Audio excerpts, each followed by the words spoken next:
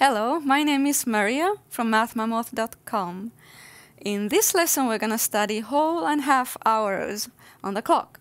And as you can see, my clock is stripped off of some of its hands.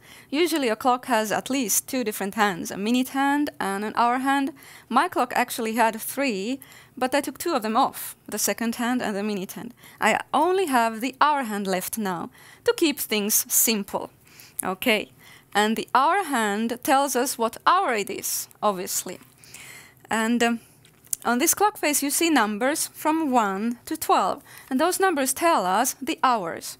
So when the hour hand points to 1, then the time is 1 hour. But we usually say it as 1 o'clock instead of 1 hour. And then when the hour hand points to 2, then it is 2 o'clock or 2 hours. And so on, 3 o'clock, 4 o'clock, 5 o'clock, and so on. It goes all the way till 12 o'clock.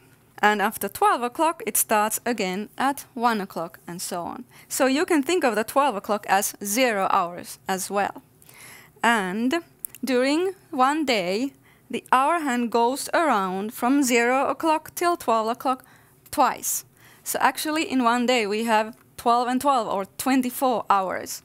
Usually, when it is one hour, one o'clock, it is nighttime, you're sleeping, and you might wake up maybe at seven o'clock in the morning, or maybe at eight o'clock in the morning. And then you might do some schoolwork, and maybe you eat around 12 o'clock.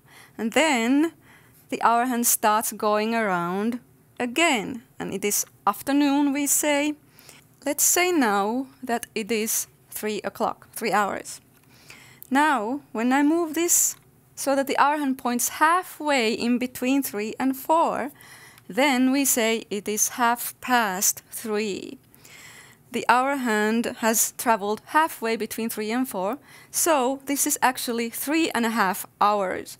But we say it as half past 3. And then over here, the hour hand points to 4, it is 4 o'clock, or 4 hours.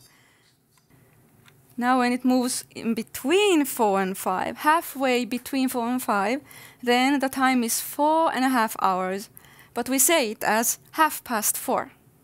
Okay? And another half an hour passes, it is 5 o'clock. Remember, from 5 to 6 would be a whole hour. So 5 and half an hour would be exactly here, halfway between 5 and 6. Another half an hour, and it is 6 o'clock. What time would it be exactly one hour after 7 o'clock? Well, 7 o'clock is 7 hours, and one more hour would make it 8 hours. So that's pretty easy, right? What time would it be half an hour after 8 o'clock? That would be over here, in between 8 and 9, half past 8. And now, what time would it be exactly one hour after half past 8? One hour after this. The hour hand needs to move a half an hour and another half an hour to half past 9.